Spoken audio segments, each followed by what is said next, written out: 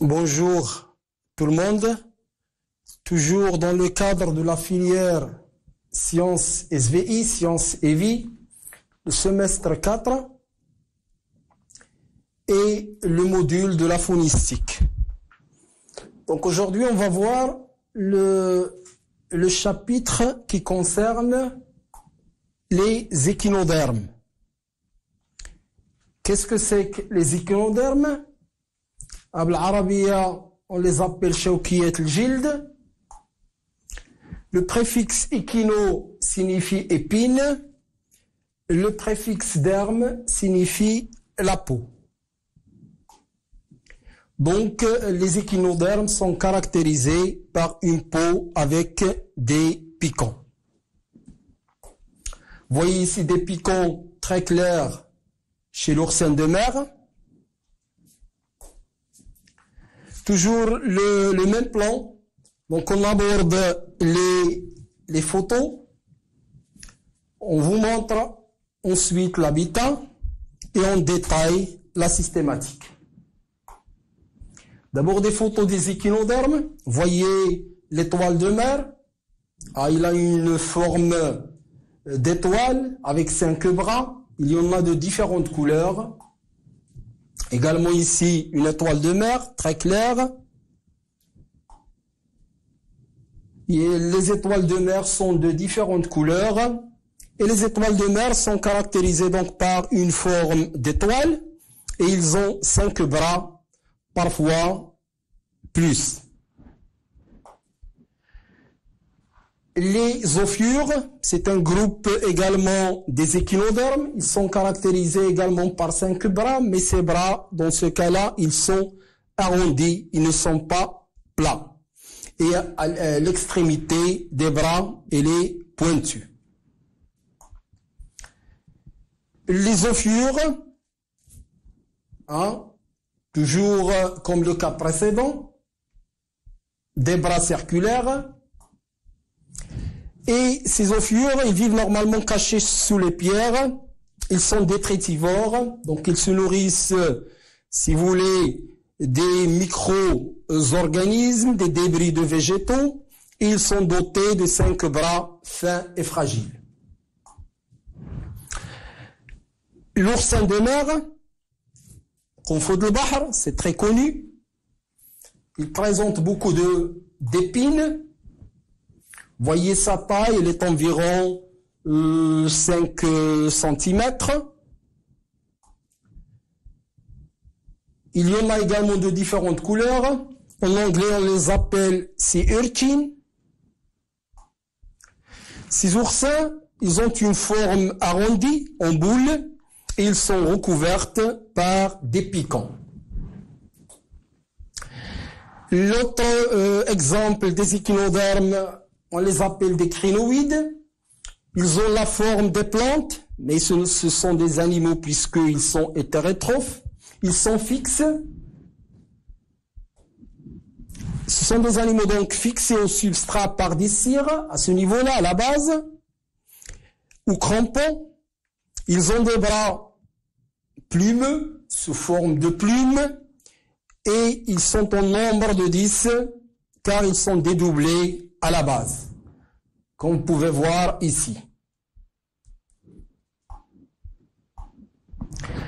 Les concombres de mer ont un aspect allongé. Hein? العربية نسميهم بلح البحر les concombres de mer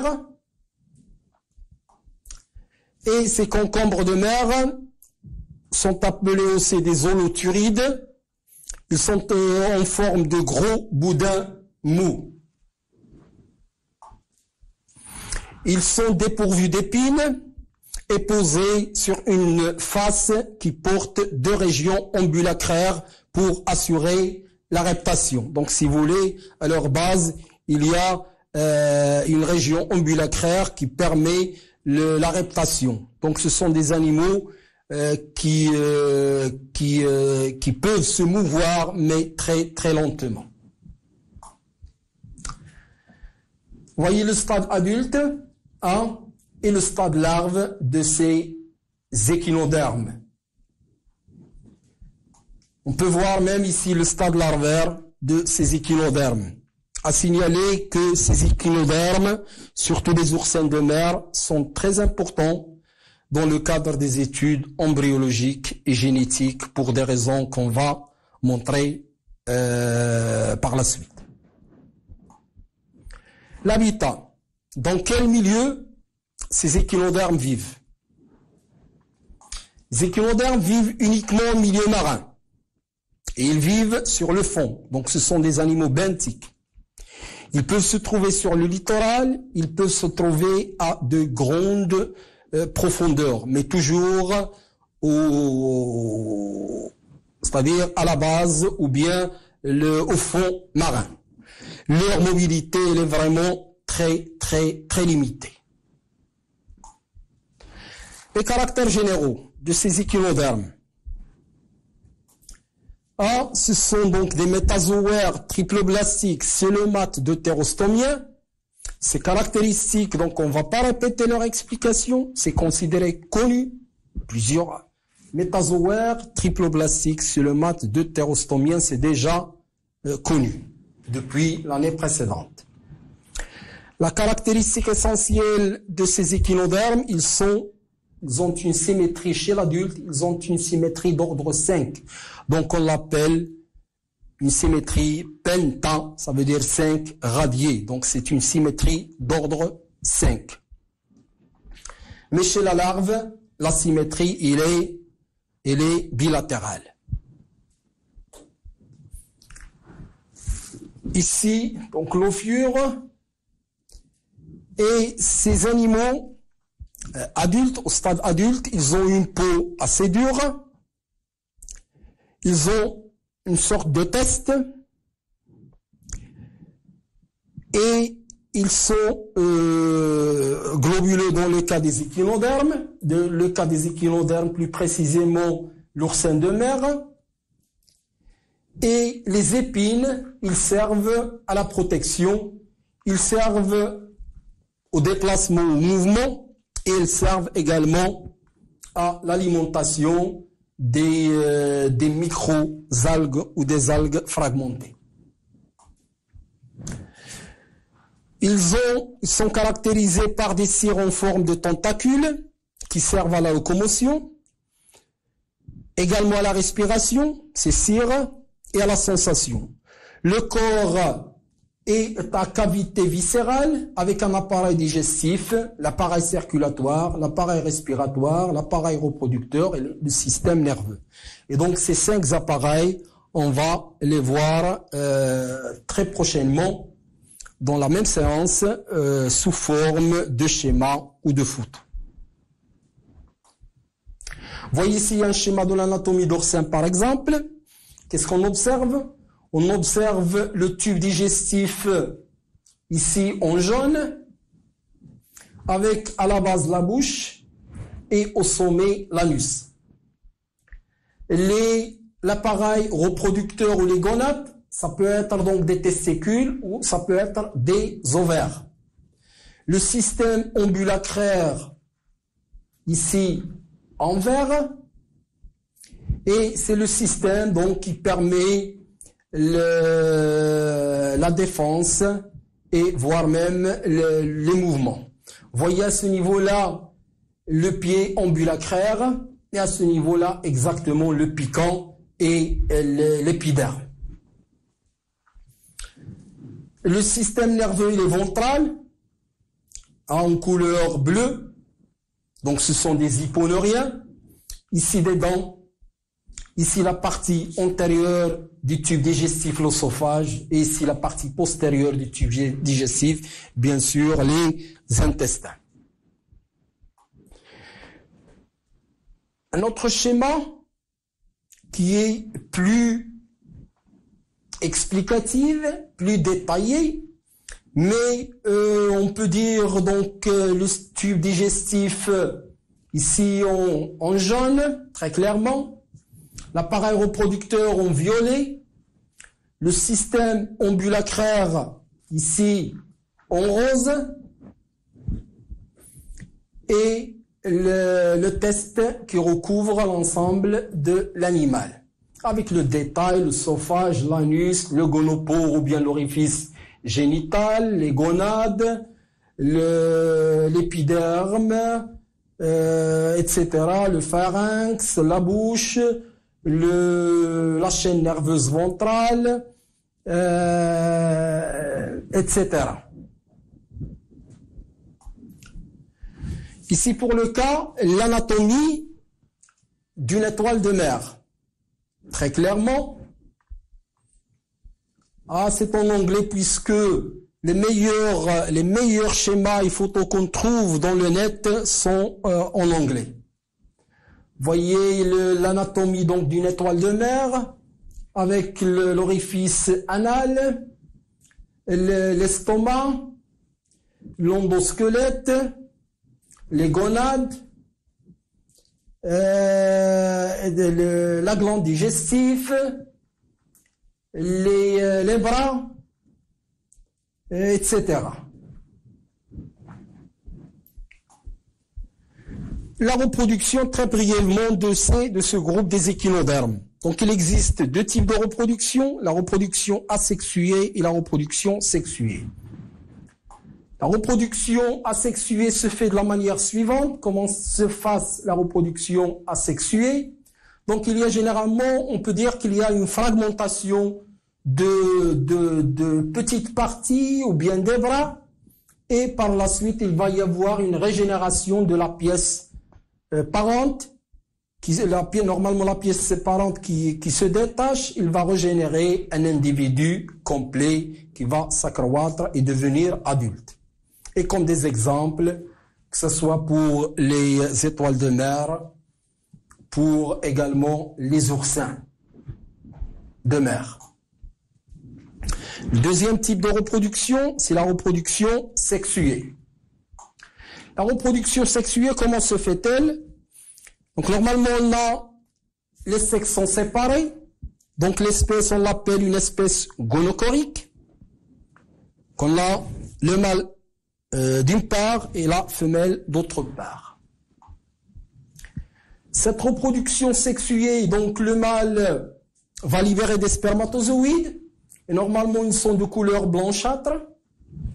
La femelle va libérer par l'orifice génital, bien sûr, euh, les ovules, ils sont de couleur jaune, orange, jaune. La fécondation se fait bien sûr dans le, euh, dans le milieu extérieur, dans l'eau. Et ici, donc, vous voyez les gonades femelles qui sont de couleur euh, orange. Donc, euh, même les gonades ont, ont une symétrie pentaradiée ou une symétrie d'ordre 5. Le premier stade de la fécondation, la fertilisation donc de l'œuf de l'oursin de mer, c'est un œuf, euh, c'est une euh, ovule qui est des plus grandes ovules euh, qu'on observe chez les animaux marins en général. Et donc le diamètre, il est de 60 micromètres. Donc c'est assez grand par rapport aux autres euh, ovules des autres animaux en général. Et voyez la fécondation par un seul spermatozoïde. Cet œuf, donc, il va subir la segmentation en 60, donc sur, en 2, en 4, en 8, 16, 32, etc. Donc, vous voyez le stade, euh, le stade blastula, le stade gastrula, la larve avec euh, quatre, euh, quatre bras, la larve avec huit bras et le stade adulte de l'oursin de mer. Donc c'est un développement embryonnaire qui se fait pendant environ un mois et demi. Donc c'est assez rapide et c'est l'exemple, euh, c'est l'exemple d'études de embryologiques en général, puisque toutes les phases sont évidentes et la durée elle est assez courte. Ici c'est encore plus évident. Voyez le stade œuf de 60 micromètres. la fertilisation 3 minutes, ou la fécondation, le stade 4 cellules à 3 heures, 32 cellules 6 heures, blastule à 20 heures, la stade larvaire gluteus 65 heures, euh, une semaine à 9 jours les 4 bras, le stade Pluteus à 8 bras en 25 jours, le stade pré-métamorphose en 40 jours et le stade post-métamorphose en 45 jours. Ce qui veut dire que le développement embryonnaire s'étale sur un mois et demi pour voir toutes les phases du développement embryonnaire avant d'arriver au stade adulte. Le cycle biologique, le stade de fécondation, stade œuf, le stade 4 cellules, le stade donc blastula et gastrula, les larves libres, pélagiques, le jeune, oursin de mer et le stade adulte avec les deux sexes mâles et femelles. Et bien sûr, la, libération des spermatozoïdes dans ce cas-là, des ovules dans ce cas-là, et la fécondation et ainsi de, suite, le, euh, le cycle biologique il est bouclé ou il est fermé. Donc l'oursin de mer, en fait, c'est un, c'est un exemple ou c'est un modèle des études embryologiques. La plupart des études embryologiques se font sur l'oursin de mer. Pourquoi? Parce que le cycle de vie et les cours, ça permet le suivi de ces stades et également, voyez, en 45 jours, on arrive au stade post-métamorphose, donc en un mois et demi, on arrive à peu près au stade adulte. L'oursin de mer est également est un modèle euh, d'études génétiques. Beaucoup, beaucoup de laboratoires au niveau européen, au niveau euh, américain travaillent sur la génétique de l'oursin de mer. Maintenant, on arrive à la statistique, à la pardon, à la systématique de le, des échinodermes. La systématique elle est assez simple. Donc là, comme toujours, a la classification, il dépend d'un critère ou de plusieurs critères. Quels sont ces critères sur lesquels repose la, euh, la classification des échinodermes. Donc la classification des échinodermes va se reposer sur deux critères. Le premier, c'est la forme générale. Est-ce que la forme, elle est euh, avec cinq bras? Est-ce que les bras sont aplati ou arrondi Est-ce que la forme elle est allongée?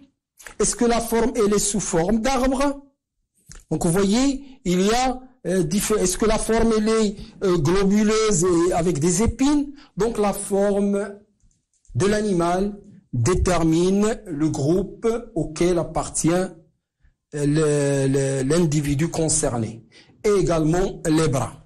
Donc la forme et les bras sont les critères qui permettent la classification euh, de l'embranchement des échinodermes. Et on va distinguer cinq classes chez les échinodermes. La classe des astéroïdes, la classe des ophiurides, la classe des échinoïdes, la classe des crinoïdes et la classe des holoturides. La classe des astéroïdes, elle est caractérisée donc par cinq bras mais aplatis.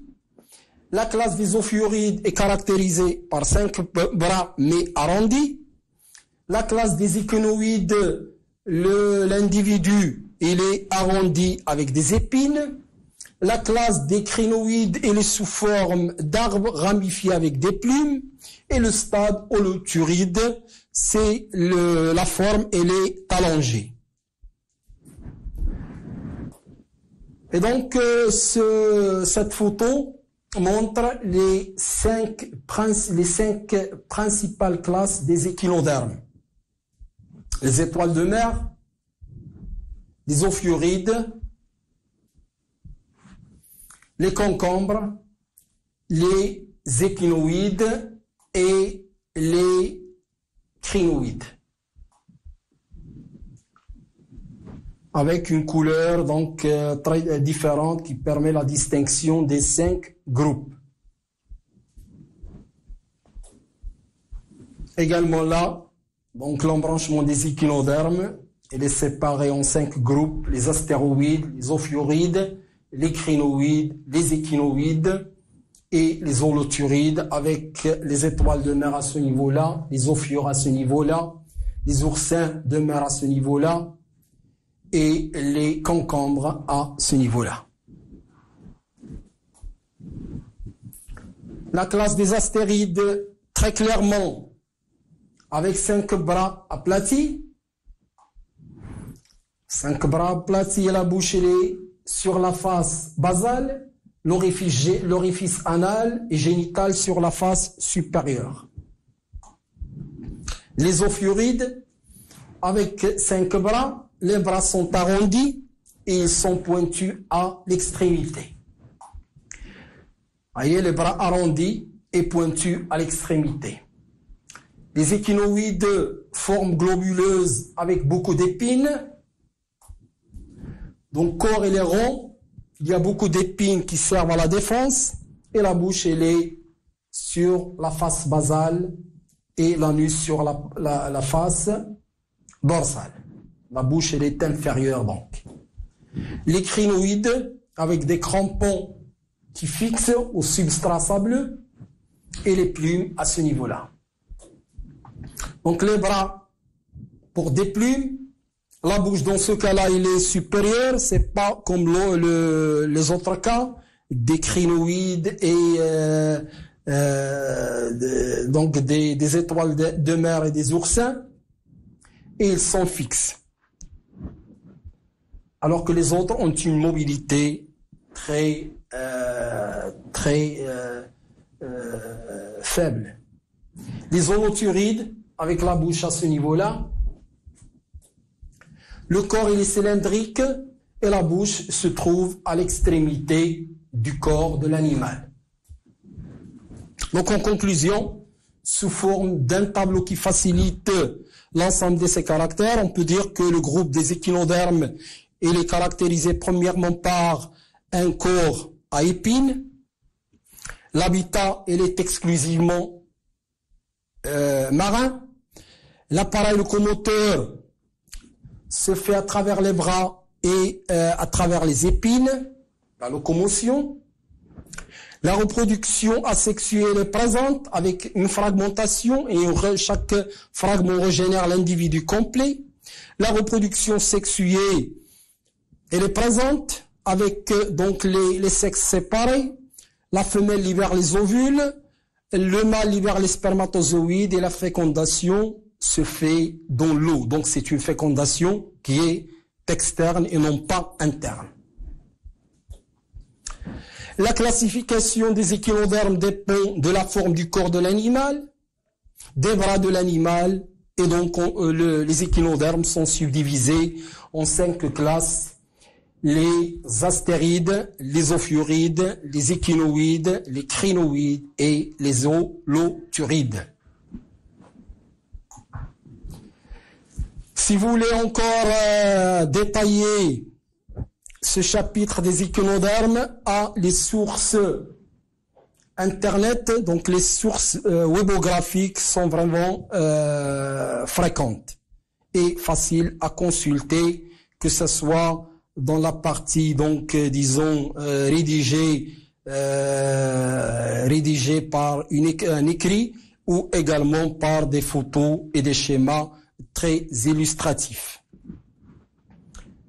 Et merci pour votre attention.